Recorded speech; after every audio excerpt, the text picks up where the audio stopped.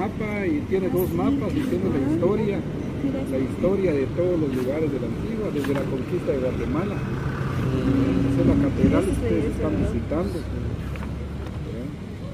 Interior de la iglesia, este es interior de las ruinas, la parte de atrás. Ah, Sí, el Palacio de los Capitanes, el Palacio del Noble Ayuntamiento, es ese también, ahí aparece. El Hospital de San Pedro, que está de la esquina a la derecha, Santa Clara, los lavaderos públicos. mira, acá. Sí, ese es Santa Clara. Santa Clara, ¿y dónde queda ese lugar? Santa Clara está aquí por eh, el tanque de la Unión, que le llamamos. Ah, eh. sí, No tan lejos. No, está a Ah, una cuadra. ya, ya. Ah, bueno. Sí. ¿De dónde nos visitan?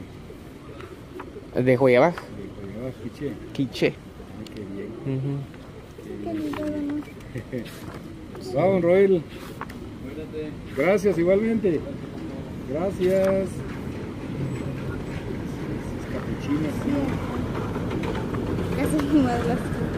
Vamos a visitarlos antes que Vamos. se va el tiempo. Hay guías también que les dan el tour, ¿verdad? Para conocer la Oh, historia. yeah. Se los llevan a, Ajá, a conocer todos los lugares y les dan la historia. ajá. ¿Y ¿Cuánto se pagan esos? Fíjese que ellos lo que cobran son 200 quetzales, 200 tardan quetzales. como 3 horas Ah, Sí. ajá, para visitar todos los lugares. exacto. Sí. Ahí está. ¿Y las cosas? Hay que traer. Así se conoce toda la historia, toda la historia de todos los lugares. Ajá. Sí. Ok. después de que lo santificó. Y ahí para que vean las campanas que dieron el toque de fiesta cuando Guatemala se independizó de España en 1821. Entonces podríamos hacer ese tour. Mire, yo lo que les cobro para ustedes como guatemaltecos, como guatemaltecos, porque se cobran 15 dólares a los latinos por el tour, pero yo les cobro 200 quetzales para todos. Con la información histórica cada lugar. ¿Cuánto cobra? 200 quetzales solo para la información histórica. dijo. 200 quetzales. Sí, para ustedes, para Pero vas a hacer el recorrido, todo. Sí, sí, por Sí. eso digo, vamos Está bien, vamos. Está bien entonces. Y ahí en las entradas Ajá. pagan 5 quetzales por persona los turistas.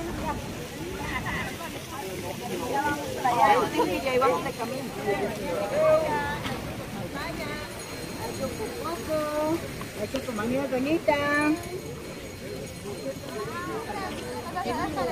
Toda la información. Sí, no, por eso es que yo vengo.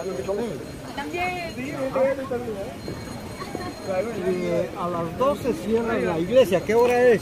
¿Qué hora tiene? Ya son las y 40. 50 son. Eh, vamos a entrar a la iglesia porque después vamos a ver el 80% de la catedral que quedó destruida con el terremoto. Exacto. Venga, venga. Venga. No sé, eso sí. Después de visitar la iglesia vamos a salir para que yo les explique este, esta fachada que es Ok. en Latinoamérica. ¿Y se puede grabar por adentro? Sí, sí. ¿Se puede? Ok, gracias.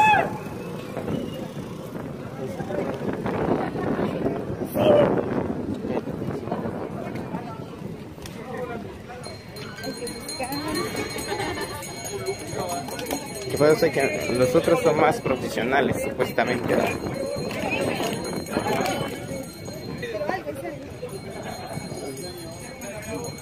¿no? No, vamos, vamos. Estamos, ahora estamos.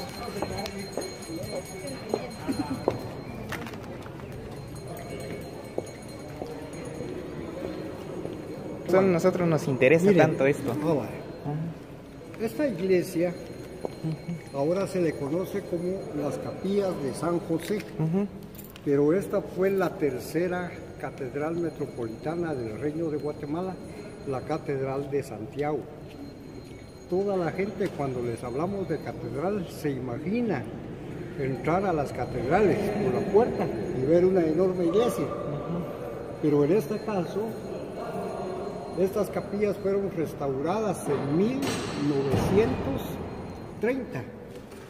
Y para ponerla a funcionar como iglesia cerraron estas tres puertas, las dos puertas laterales y la puerta procesional.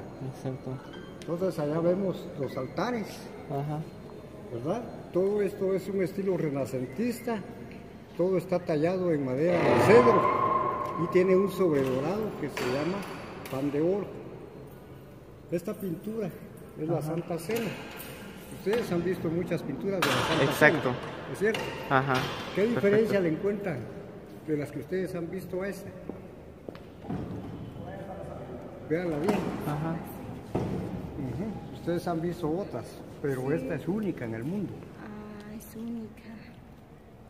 Fíjense que esta pintura fue hecha por un pintor, por un artista indígena guatemalteco, pero él se inspiró en nuestra alimentación. Por eso vean la mesa, Exacto. vean la mesa, ahí no encontramos ni una rodaja de pan, Ajá. no encontramos una copa de vino, ni encontramos un ramillete de uvas. Ahí aparecen puros vegetales, miren. Exacto. Ahí hay zanahorias, hay remolachas, cebolla. Entonces él se inspiró en nuestra comida. Está en lo alto, porque esta pintura se la robaron hace 10 años de acá. Perfecto. Y hace 4 años apareció allá en San José de Costa Rica, tallada en cuatro, eh, cortada en cuatro pedazos. Y aquí se hizo la restauración. Ujú. Venga, vamos para acá.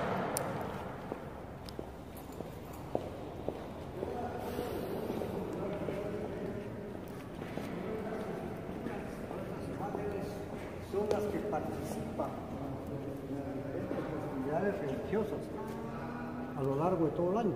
Ustedes saben que la Semana Santa aquí en Antigua es algo de lo más grande que tenemos Exacto. mundial.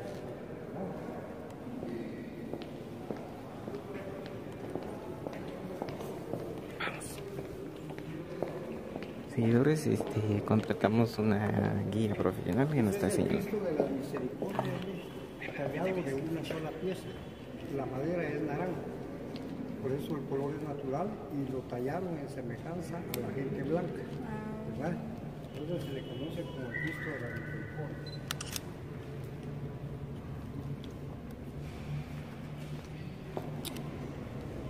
Vamos.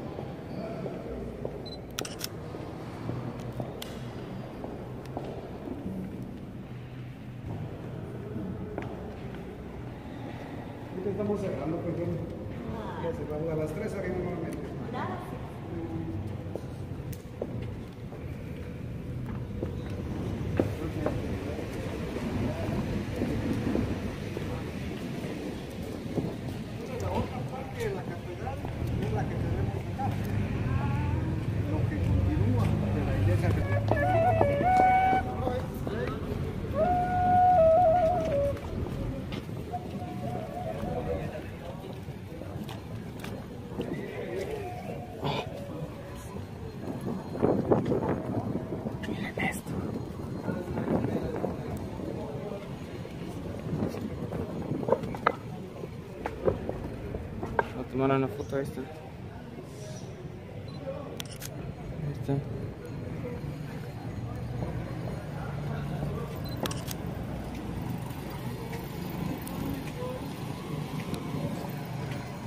Eh, seguidores de YouTube, pues este, como podrán ver, yo voy con, con, con el guía, este, tomando unos videos, fotografías, eh, entre otras cosas más. Eh, también este, está la, eh, nuestra guía está, nos está acompañando para ver, este, señalando, mostrando todos los tipos de imágenes que, que había hecho anteriormente. Miren, observen todo esto.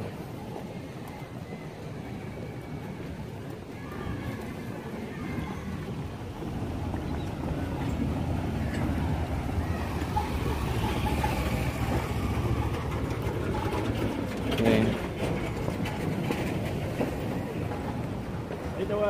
Ok, acá vamos a estar.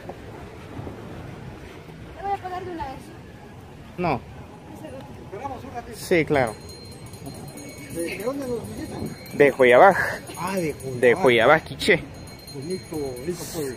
Bien Muy, bonito. Es un pueblo ya muy modernizado. Exacto. Las construcciones. Perfecto. todo. Llegan muchos turistas allá también. muchos turistas, Llegan sí. muchos gringos. Yo conocí A diario llegan allá. Hace 40 años. Nada que ver con ahora. Ah, no, ahora Sí, y sí, ahora. ahora es otro lugar. Los pueblos se han ido modernizando. ¿Verdad? Y lo que, bueno, lo que ayudó mucho fue el terremoto del 76. Exacto. Entonces ya las construcciones mm, son antisísmicas. Perfecto. ¿Usted sabe muy bien de esas historias? Sí, sí. Sí, sí, muy bien, ¿verdad? Sí, no. Exacto. Ajá. Y es que esto es lo que le da el valor a su estancia. Le van a sentir ustedes el valor es la historia. Exacto. Porque no es solo de caminar, sino saber qué es lo que uno está viendo. ¿Desde qué rato estábamos buscando una guía? De verdad. Sí, estuvimos acá, luego fuimos allá a comer, luego venimos otra vez de regreso. Sí, nosotros siempre tenemos. eh, eh, ajá, exacto.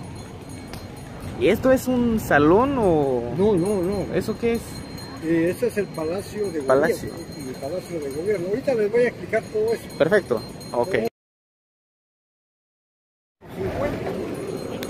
Entonces, cuando llegan los españoles, empiezan a hacer el estudio cómo van a construir esta ciudad. Y lo primero que construyen es la Catedral de Santiago, era lo que yo les decía. Hay que poner atención en lo que es su estilo arquitectónico, porque es un barroco español. Exacto. Esto es un barroco español Ajá. y fue fundado por el primer obispo que vino a Guatemala, Francisco Marroquín. Él era franciscano.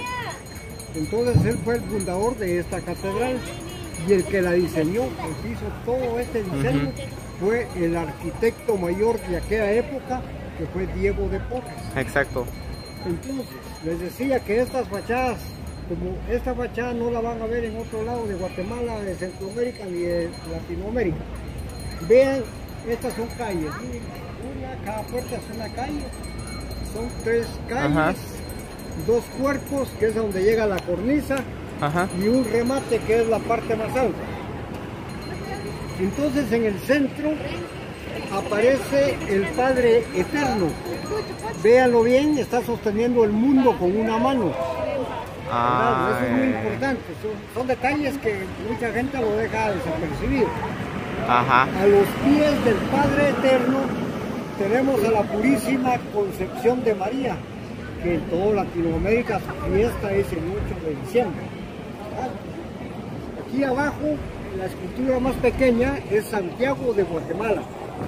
¿Verdad? En Antigua nosotros le llamamos Santiago el Caminante. Lleva un sombrero caído sobre el hombro izquierdo. Exacto. Luego aparecen ocho esculturas de un lado y ocho esculturas de este otro lado. Ajá. De esas 16 esculturas que hay, 12 nos están representando los 12 apóstoles y los otros cuatro son los evangelistas. Es una fachada muy significativa pues para lo que es el catolicismo. El cuadro que vemos arriba del arco es un escudo español. Es el escudo de León y Castilla que nos está representando a Carlos V, rey católico de España. Y aquí donde está la concha de San Pedro, que es esta que está acá en la concha arribita, vean las dos llaves. Exacto. Esta es el escudo papal, el escudo de San Pedro, ¿verdad?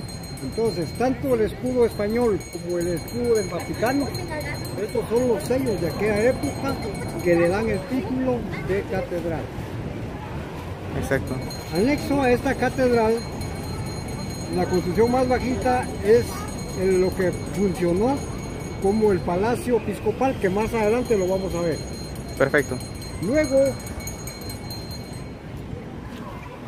el gran palacio de gobierno, el palacio de los capitanes generales. En este lugar fue donde estuvo la sede de gobernación para todo Centroamérica. O sea que El Salvador, Honduras, Nicaragua, Costa Rica.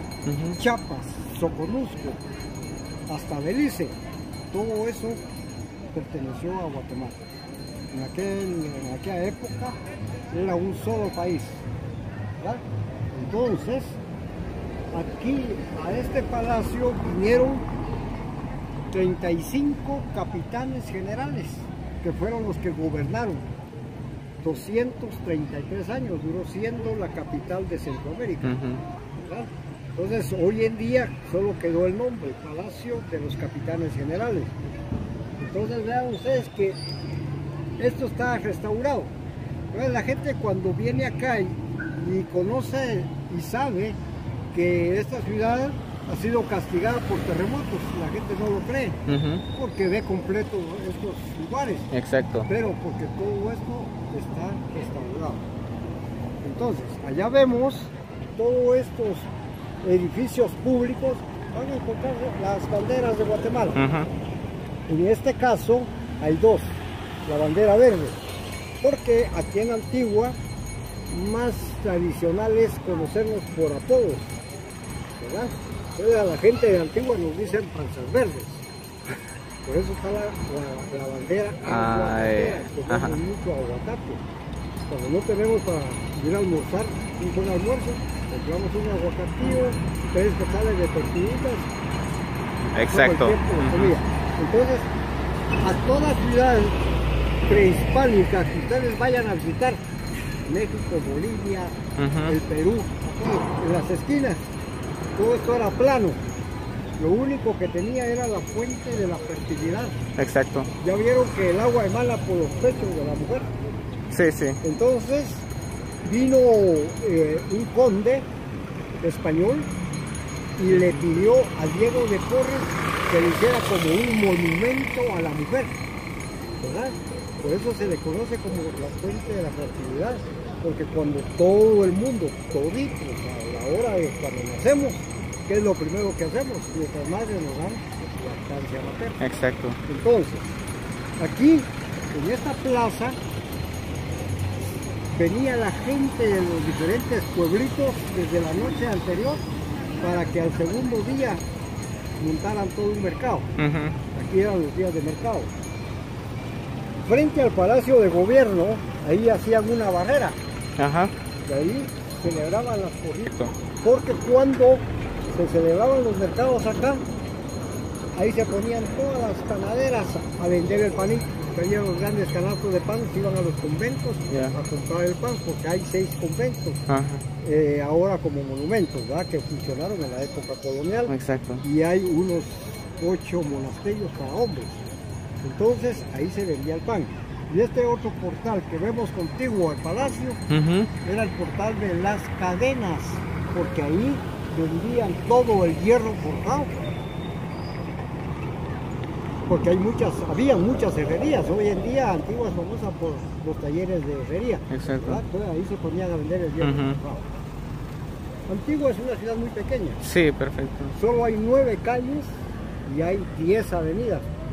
Desde cualquier vista panorámica pareciera que uno estuviera frente a un tablero de ajedrez, 15 kilómetros de aquí. Ajá. Volcán de Acatenango, volcán del fuego, lo vean despejado. La gente se queda admirada de ver tanto volcán. Exacto. Entonces, el volcán de, de 1976, hace 45 años, fue un terremoto muy fuerte donde murieron más de 30 mil guatemaltecos. Toda la parte del altiplano, Santa Cruz del Piché, Chichicastenango, todos esos, lugares fue donde más mortandad hubo, porque aún las construcciones eran puro adobe. Exacto. ¿verdad? Ahora es lo que, lo que hablamos, que a raíz de ese terremoto ya las construcciones son de bloque y son de hierro, Sí, exacto. entonces ya son antisísmicas.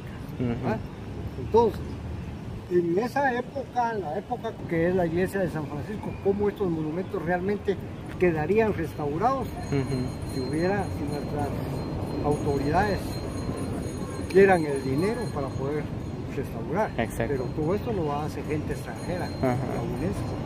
Si no, esto estuviera en ruinas. Sí. ¿verdad? En cambio, estos ahora se ven muy elegantes. Ujú. Por eso es que vamos ahora a las ruinas de la catedral. Ok. Venga. Casi firmes. Ajá. ¿Verdad? Por eso estoy No explicando a ella. Exacto. Algunas personas les han jalado la blusa, el pelo. Y... Pero no pasa nada, ¿verdad? No, lo que puede pasar es que si tiene miedo se pone a temblar. ¿no? Ajá, pues ella no sale ahí, tiene que ir cargando. Bueno, No. estuvimos entrando, por eso les decía que entráramos primero a la iglesia porque ya, ya está cerrada. Exacto. ¿verdad? Pero tuvimos la oportunidad de ver las dos capillas que restauraron después de 1930. Perfecto. Entonces para eso Ah, tal. Ajá. belleza, se Ajá. comparó en belleza a la Catedral de Lima y a la Catedral de México. lamentablemente, por tantos terremotos que Guatemala ha sufrido, esto se ha ido destruyendo más y más. En Antigua trabaja una organización que se llama Consejo Nacional para la Protección de Antigua, quien vela por mantener su arquitectura colonial.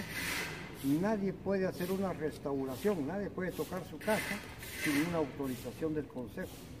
Y las restauraciones tienen que ser, basadas a una copia original. Por lo tanto, miren, esto, lo rojo que, ve, lo, lo rojo que vemos en la columna y en arcos, esto es lo que ha restaurado el Consejo Nacional. Ajá. ¿verdad? Entonces, esta, esta catedral fue hermosísima. La verdad que fue una catedral bastante grande. Eh, les decía, les decía que todo esto lo trabajó la gente indígena. Entonces vean al fondo. Esta gente dejó plasmada su inteligencia, ¿verdad? En estas construcciones. Ya vieron que al fondo hay una pirámide. Sí, una pirámide. Ajá, se le atribuye como, como, como Tikal, ¿verdad? Exacto. Solo que esto se le atribuye al gran jaguar. Entonces el cura párroco que tenía que exponer el Santísimo tenía que usar un cable que iba pegado así en la construcción, la custodia aquí y agarrado el cable subiendo, escalando la, la- esta pirámide. Exacto. Entonces, aquí lo auténtico, lo original son los siguientes, una piedra. Toda esta piedra que se usó para la construcción y para empedrar las calles de la ciudad, toda esta piedra es volcánica. Fue traída del ¿Del volcán? volcán de agua. Mm. Entonces, aquí vean ustedes, solo imagínense la intensidad de esos movimientos fuertes, de ese terremoto de 1773. Las construcciones no tenían hierro ni tenían cemento, solo la piedra, el ladrillo, la cal y la arena. La gente dice, pero qué columnas tan hermosas, tan sólidas, pero para esos terremotos, estas construcciones no se dieron abasto. Exacto.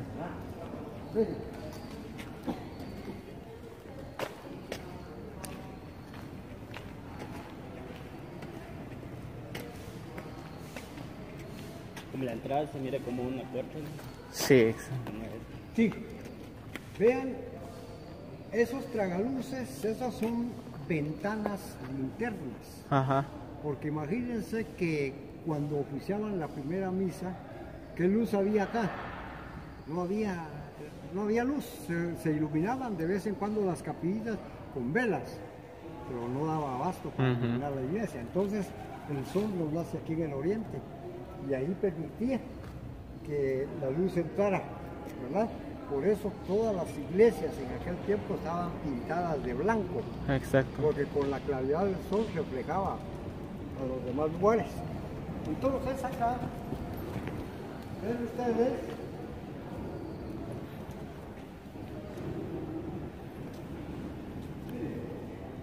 dato muy importante es que en aquella época nuestros ancestros nunca pudieron entrar por las puertas principales. Toda la vida hemos sido discriminados. Número dos, que en esa época la gente no hablaba ni entendía español. Entonces, hoy en día, no me dejan mentir, pero hay mucha gente aún que venera a sus dioses, ¿verdad? Como en Chichicastenango y otros pueblos que están en la parte de Momostenango, hay centros ceremoniales. Entonces, eh, para ir borrando todo eso, los españoles introdujeron la religión católica y para eso nos metían por las puertas de atrás. Y aquí estaba la capilla para indígenas que ocupa todo el ancho y el largo del altar mayor. Exacto. porque la idea de, de los españoles era que la gente venerara a un solo Dios. Pero ya cuando estaba dentro de la capilla y ver las diferentes esculturas paraban venerando a sus dioses. Nunca los hicieron como ellos hubieran querido al catolicismo ¿verdad? Ahora, frente al altar mayor, aquí exactamente, estamos sobre un cementerio. ¿verdad? ¿Este es un cementerio? Esto es un cementerio, lo van a excavar. Desde el año pasado están que a finales, ahora nos dejaron que posiblemente para septiembre el Instituto de Antropología e Historia va a empezar a investigar todo esto. Ujú. Pero la verdad es que aquí se encuentran sepultados. En este sitio se dio sepultura a ilustres personajes vinculados con la conquista y fundación de Guatemala. Miren cómo se escribía Guatemala, no con U, sino con O. Y miren cuánta abre- abreviatura. Entre ellos está el primer obispo, el fundador de esta catedral, Francisco Marroquín, el adelantado don Pedro de Alvarado, que fue el mayor protagonista de la conquista, su esposa, doña Beatriz de la Cueva, que automáticamente, cuando deja fundada la segunda ciudad, él se va a México y deja como gobernadora a doña Beatriz de la Cueva, que era la esposa. Luego aparece su hija, doña Leonor de Alvarado, capitán Pedro Portocarrero, licenciado Francisco de la Cueva, el historiador Bernal Díaz del Castillo. Este hombre, estando en Guatemala, se revela ante sus compatriotas y él no se regresa a España. Se queda en Guatemala y aquí es donde se convierte en el cronista más importante de aquella época, porque él es el que escribe en su totalidad la historia de la Nueva España Olmeca. Y entonces aparece una mujer, el nombre de una mujer indígena, que es doña Luisa de Chicotencal. Esta muchacha era una guerrera azteca, muy valiente. Entonces, para que viniera con los españoles en apoyo a la conquista, Pedro Alvarado la conquistó México. Por eso que está sepultada en este grupo Mm. de personas importantes. Exacto. Otra cosa es que cuando nos hablen de catedrales, cuando les digan vamos a la Catedral de Guatemala, la catedral ustedes la conocen, es una catedral, una iglesia muy grande, pero según las crónicas eclesiásticas nos hablan de las puertas. ¿Cuántas puertas hemos visto? Vimos tres puertas en la parte frontal Ajá. dos puertas en la parte lateral, dos puertas en la parte de atrás, nos hace el número 7, Siete. que nos representan los siete días de trabajo de la semana, los siete pecados capitales. ¿Qué tal? Buenas tardes. ¿Cómo está? Está en buenas manos, le cuento. Ahí vamos. ¿Qué tal? ¿Cómo están? Gracias.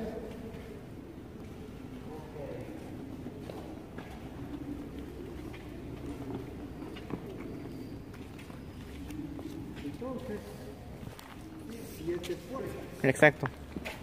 Luego habían 14 capillas, Ujú. siete de este lado y siete de este otro lado, nos hace el número 14, que nos, es- nos están representando las 14 estaciones Ajá. del Santo de Crucis. Ah.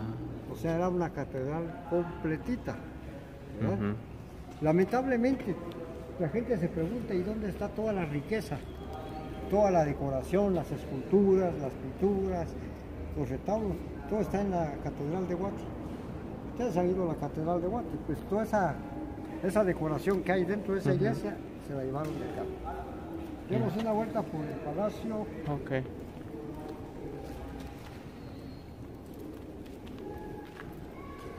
Era la catedral, entonces habían en todas las puertas. Aquí la gente venía para santiguarse, ¿verdad? Que era Ujú.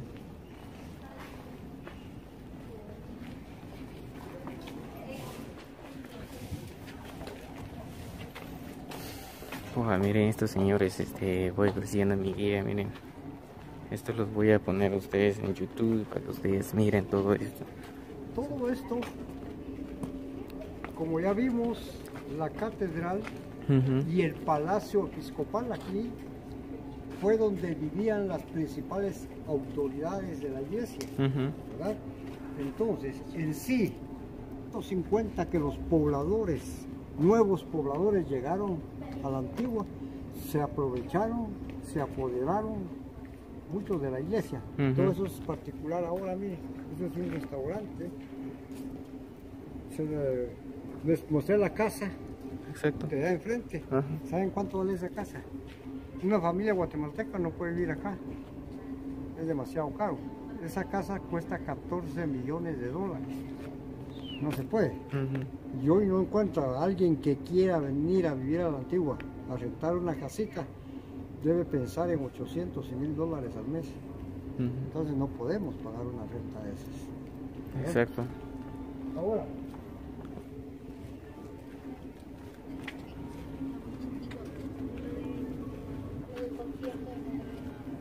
Fíjense que al principio esas iglesias no tenían agua potable. Entonces, las que abastecían de agua a estos edificios eran las fuentes en las plazas públicas o en las lavanderías públicas, donde después vamos a llegar.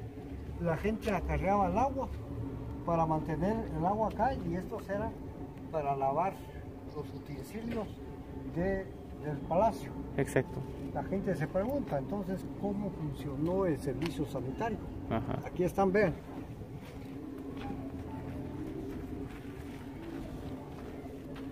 Eran pozos sépticos, miren. Ajá. Que aún tenemos pueblitos donde los usamos todavía, ¿verdad? Entonces ahí pueden ver que eran cada agujero, pues era un baño, era un Exacto. sanitario, pero definitivamente todo esto estaba decorado con maderas muy finas, Perfecto. ¿verdad? Entonces ya todo eso es ahora particular, es un restaurante.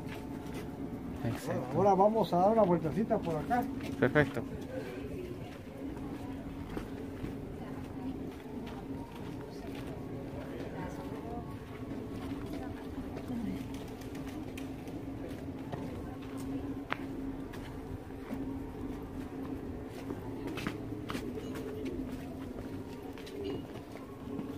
Entonces, antes del 76, algunas columnas estaban completas, pero ese terremoto fue tan duro que terminó de destruirlo.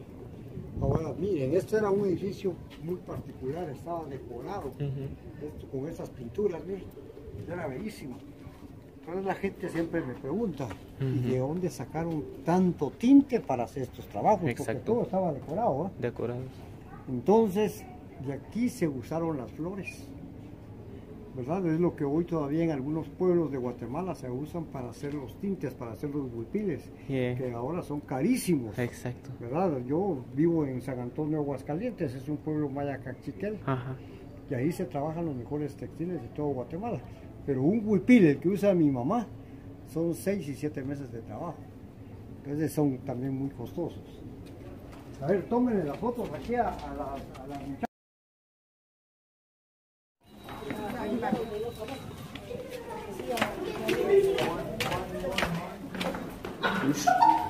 Cuidado.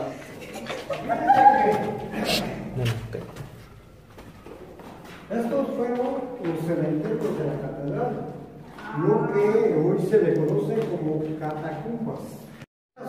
Vemos tres naves bajo tierra. Aquí sepultaron a militares, gobernadores. Aquí donde estamos, a la gente particular, pero aquella gente importante que tenía vínculos muy cercanos con la religión católica. Y acá sepultaron a superiores de las diferentes congregaciones religiosas. Ven.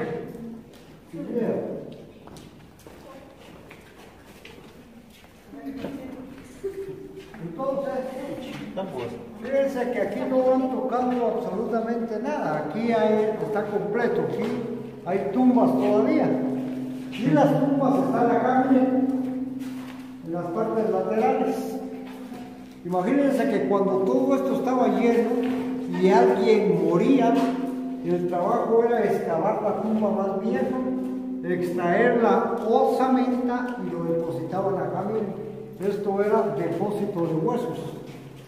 Se conocía como osarios. Ajá. Y cuando ya había cierta cantidad de osamenta, aquí también incineraban la osamenta. O sea que también le llamaban crematorios.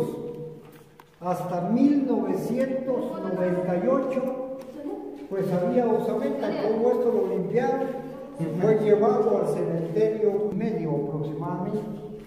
Aquí, en lugar de excavar, más bien rellenaron. Porque después de que esto quedó en abandono, pues la gente lo usó como basurero. Entonces aquí venía la gente indigente a dormir. Ya sintieron el calor que se encierra. Entonces no nece- necesitaban una cobija para taparse. Entonces esto tienen que excavarlo todavía. El techo. Este techo es original. Se le conoce como una construcción de medio punto. Y esto es lo más seguro por cualquier eventualidad telúrica. De 1717 al 7 de noviembre del 2012, este techo ya pasó por 22 de terremotos fuertes. Entonces, vean, no tiene ni siquiera una grieta. Pero este fuerte, techo, ¿de qué está construido esto? Aquí, o sea, aquí fue excavado, puro y una vez excavado, fue cubierto con piedra, ladrillo, cal y arena. ¿Verdad? Entonces, aquí el riesgo, el peligro sería que a la hora de un temblor fuerte se desprendiera un gran bloque de, de arriba y que dejara bloqueada la puerta. Pero que esto se caiga, pues está prueba de todo. Exacto. ¿verdad? Ahora pasen al otro lado para que vean dónde sepultaban a los militares.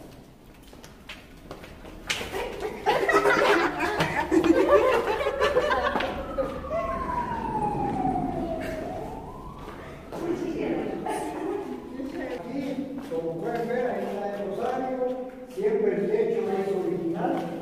Y aquí la gente que venía a dormir empezaba a los instancias de meter acá. Pero las autoridades se dieron cuenta y pues eliminaron a esta gente. Y fue hasta 1970 que entró el Consejo Nacional para proteger estos monumentos. No porque esto estuvo abandonado cientos de años, ¿verdad? Nadie se hacía cargo de estos edificios. Antes uno podía entrar, no pagaba nada. Y ahora, pues para mantenerlo, pues se paga siempre el ingreso. Entonces, pura mezcla de arena, de cal y residuos de ladrillo. ¿verdad? Pero esto ya está hecho hace tiempo. Pero ¿sabes? esto es original. Eso es el original. Esto, es- esto no lo esto es original. Exacto. Como el techo. Ajá. Ahora vengan aquí, vean lo que han restaurado. Esto sí es nuevo. ¿eh? Ya. Ah, sí, sí, sí, bien, se ¿no? nota el tipo de concreto. Ah, correcto. Aquí hace, ya tiene hierro. Perfecto. Aquí ya tiene hierro. Entonces son construcciones de medio punto. Ya. Ahora vamos a continuar.